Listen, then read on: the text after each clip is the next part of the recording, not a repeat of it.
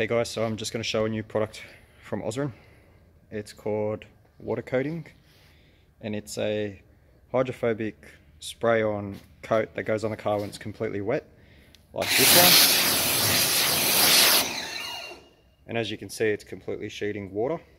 Now this product is and will come in 4 litres and is dilutable 1 to 4 so I'll show you just how it works.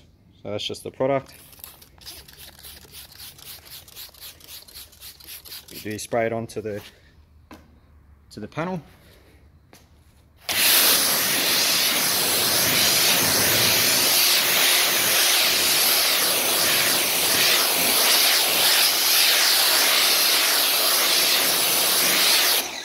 And then rinse it off. And then you've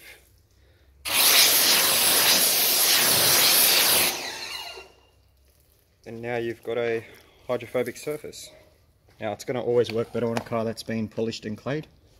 This car hasn't but if you did want a bit more hydrophobic effect spray a bit more on and just pressure wash it. We use your pressure wash from the bottom up